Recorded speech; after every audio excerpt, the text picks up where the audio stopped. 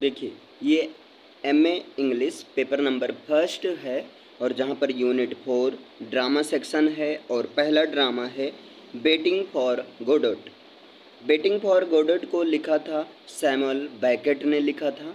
अब ये चीज़ है क्या? तो देखिए waiting for Godot is the most well known play waiting for Godot पहला नंबर प्ले है।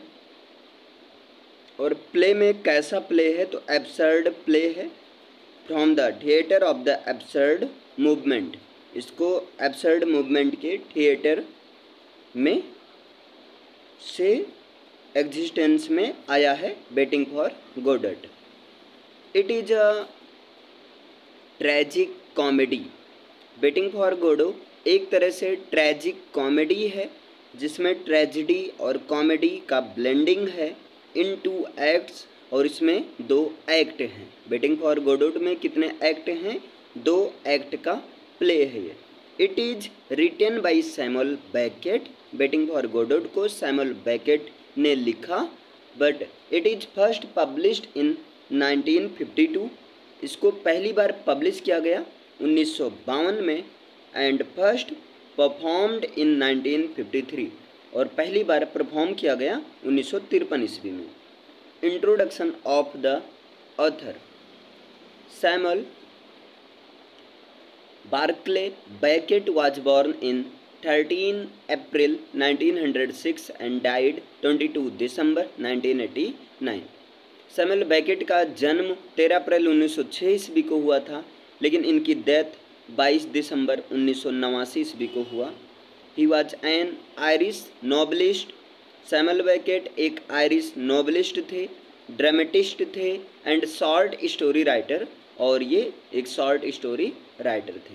He was also theatre director इनको थिएटर डायरेक्टर भी कहते हैं पोएट भी थे एंड लिटरेरी ट्रांसलेटर और ट्रांसलेटर भी थे। His literary and theoretical work features bleak impersonal and tragic comic experience of life इनकी वर्क में डिफरेंट टाइप के, जैसे एक tragic कॉमिजिक tragic comic experience include होते थे इम्पर्सनल होते थे और बहुत ही ब्लीक टाइप के होते थे। Often coupled with black comedy and nonsense generally इनके वर्क में कॉमेडी और नॉनसेंस फुलिसनेस हुआ करता है। करेक्टर ऑफ़ द प्ले अब यहाँ बेटिंग फॉर गॉडट में कौन कौन से करेक्टर हैं? तो पहला करेक्टर है व्लादमीर या Vladimir Vladimir one of the two main characters of the play जैसे देखिए, इस प्ले में दो मेन करेक्टर्स हैं ब्लादमिर और एस्ट्रोजन्स तो Vladimir one of the two main characters of the play ये एक मेन करेक्टर्स में से एक है। एस्ट्रोजन कॉल्स हिम दीदी और एस्ट्रोजन व्लादिमीर को दीदी कह के बुलाता है। And the boy address him as mister Albert और जो लड़का होता है, उसको मिस्टर एल्बर्ट के नाम से एड्रेस करता, उनको बुलाता है। He seems to be the more responsible and mature of the two main characters दोनों मेन करेक्टर्स में से ये कुछ ज़्यादा ही रिस्पॉन्सिबल और मैच्योर दिखाई पड़ता है, लगता है। Next character, Estragon. Estragon, the second of the two main characters. Estragon जो है, दो मेन करेक्टर्स में से दूसरा वाला है। Vladimir calls him Gogo. Vladimir उसको गोगो कहते हैं। ब्लादमीर एस्ट्रोजन को गोगो कहता है। और एस्ट्रोजन व्लादिमिर को दीदी कहता है।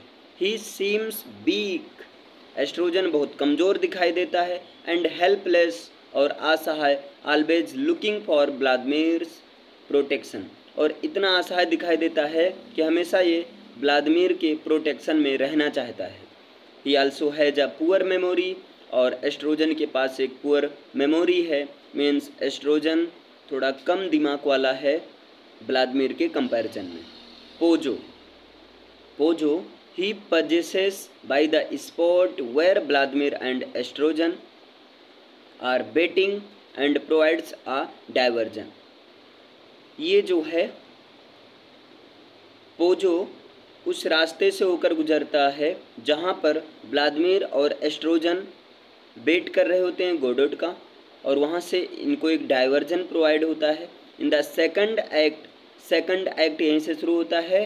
He is blind second act में पोजो जो है ब्लाइंड हो जाता है and does not remember meeting Vladimir and Estragon the night before और जो है मतलब वो भूल जाता है, उसे याद नहीं रहता है कि एक रात पहले व्लादिमीर और एस्ट्रोजन से पोजो मिला था। और पोजो जो होता है पोजो के साथ में गुलाम होता है, जिसका नाम है Lucky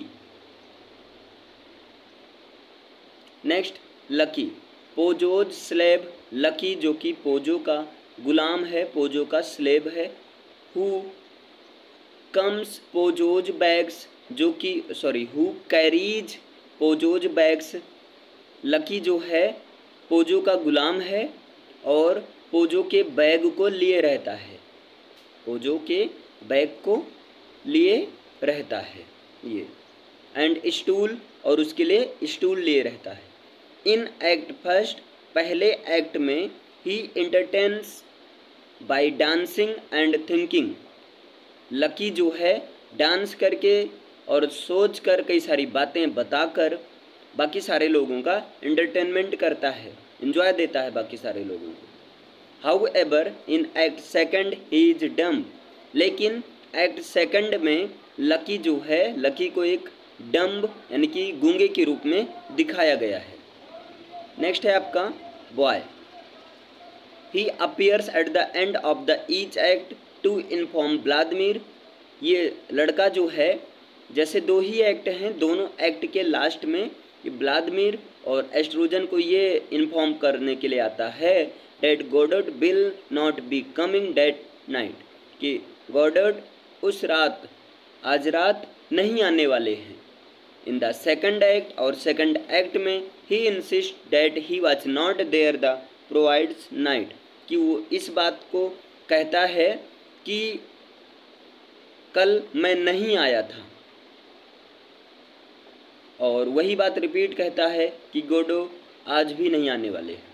Godot the man for whom Vladimir and Estragon wait Godot वो आदमी है जिसका इंतज़ार व्लादिमीर और एस्ट्रोजन कर रहे होते हैं।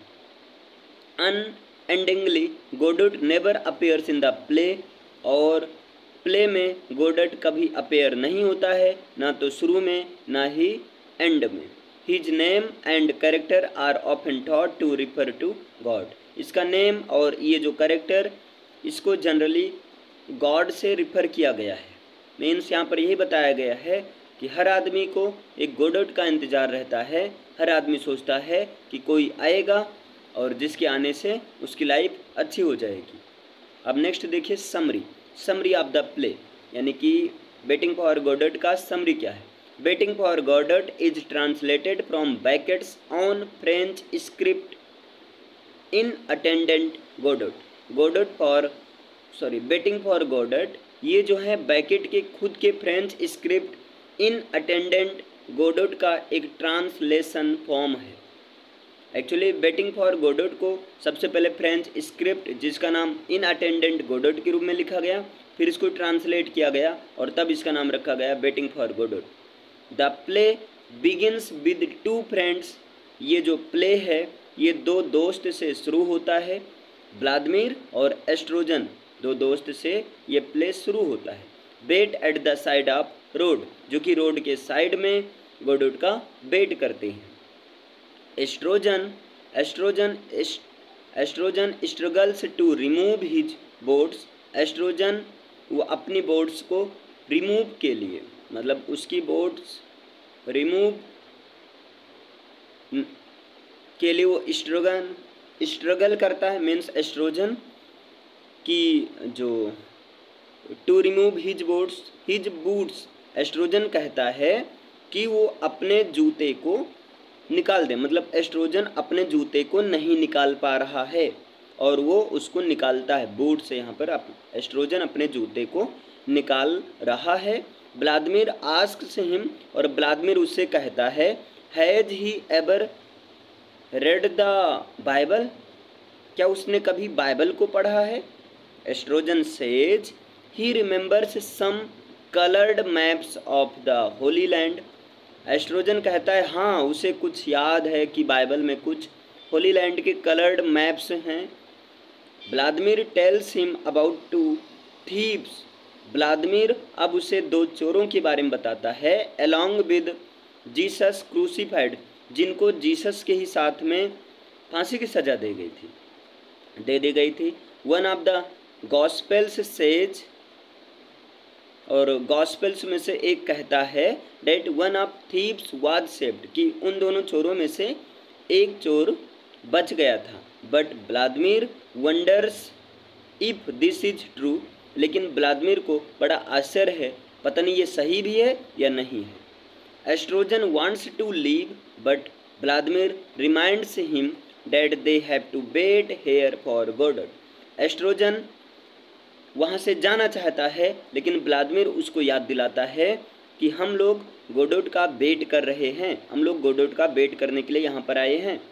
Vladimir and Estragon debates whether they are in right place Vladimir और एस्ट्रोजन इस बात पर चर्चा करते हैं, क्या वे सही जगह पर हैं? And whether it is the right day for Godot to come और क्या ये सही समय है कि जब गोडोट आएँगे? Estragon falls asleep. बात करते करते एस्ट्रोजन सो जाता है and Vladimir immediately wakes him saying he was lonely without him और व्लादिमिर कहता है कि वो जाग जाए, उसे जागने के लिए कहता है, क्योंकि अगर वो सो जाएगा तो उसके जब वो सो जाएगा तो व्लादिमिर अकेला हो जाएगा। Estragon starts to tell about his dream Estragon अब अपने सपनों के बारे में बताना शुरू कर देता है। But Vladimir angrily stops him, लेकिन व्लादिमिर गुस्से से उसको रोक देता है and tells him, keep his nightmare to himself. और उसे कहता है, और उससे कहता है कि अब जो है, हम लोग को रात यहीं गुजारनी है। The two other man enter Pozzo, अभी इसी समय यहाँ पर दो और आदमी इंटर करते हैं। एक तो पोजो होता है और दूसरा उसका गुलाम, लकी होता है। Is on his way to the market to sell his slave Lucky. और वे जो हैं, जा रहे होते हैं मार्केट में अपने स्लेब लकी को सेल करने के लिए।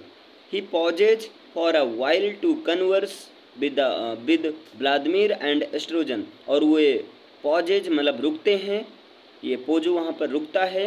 थोड़ी देर व्लादिमिर और एस्ट्रोजन से बात करने के लिए थोड़ी देर वहीं पर रुकता है।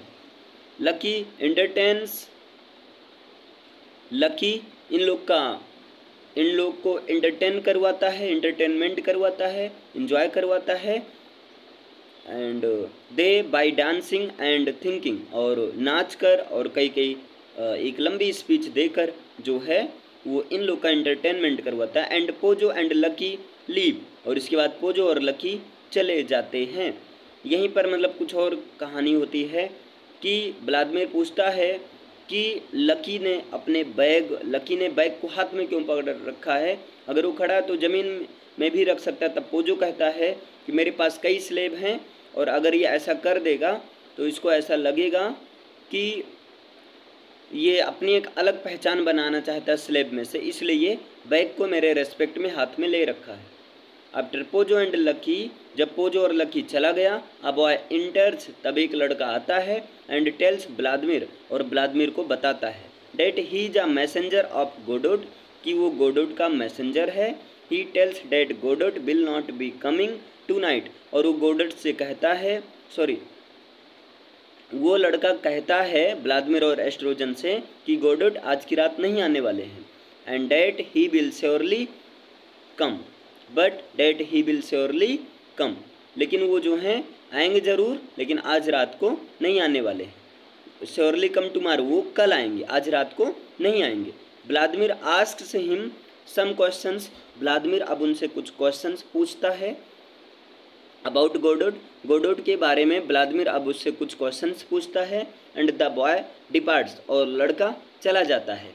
आफ्टर हिज डिपार्चर जब वो चला जाता है Vladimir and Estragon decides to leave तब व्लादिमिर और एस्ट्रोजन वो भी चले जाने का डिसाइड करते हैं. But they do not move as the curtain falls लेकिन वो नहीं जाते हैं. जैसा कि पर्दा गिरता है, लेकिन वो वहीं रहते हैं मतलब नहीं जाते हैं. द नेक्स्ट नाइट अगले रात को Vladimir and Estragon again meet near the tree wait for Godot अगली रात को व्लादिमिर और एस्ट्रोजन फिर से वहीं पर दिखाई देते हैं, जहाँ पर वो गोडोड का बेट कर रहे होते हैं। Lucky and Pozzo enter again, Lucky और पोजो फिर से आता है वहाँ पर। And this time Pozzo is blind, और इस बार पोजो अंधा हो चुका है, एंड लकी इज़ डम्ब और लकी बहरा हो चुका है। Pozzo does not remember meeting the two man night before.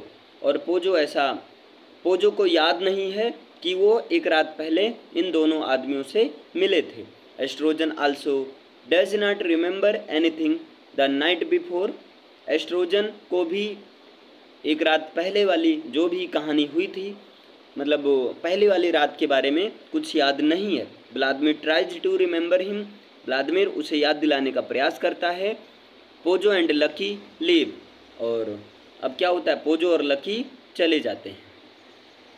अच्छा यहाँ पर भी कुछ कहानी होती है।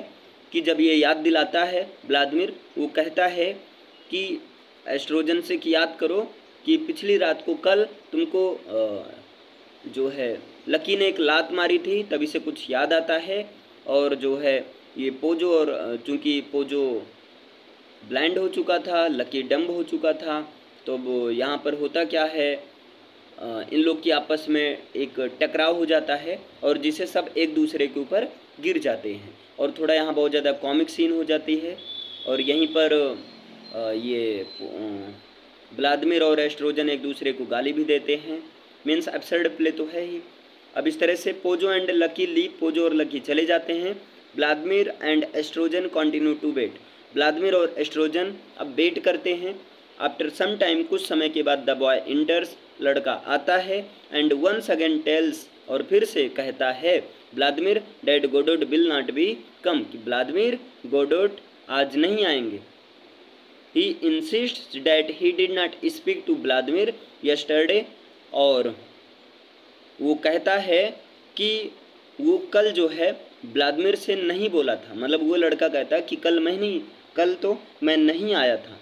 आफ्टर ही लीव्स और इस, ऐसा बोलकर कि आज वो नहीं आएँगे, कल आएँगे, ऐसा बोलकर वो लड़का चला जाता है। Estragon and Vladimir decide to leave. Estragon और व्लादिमिर भी चले जाने का डिसाइड करते हैं। And again they do not move as the curtain falls ending the play.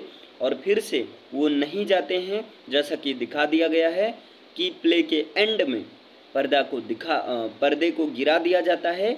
लेकिन ये व्लादिमिर और एस्ट्रोजन नहीं जाते हैं, वहीं पर वेट कर रहे होते हैं। इसी के साथ में ये एंड होता है।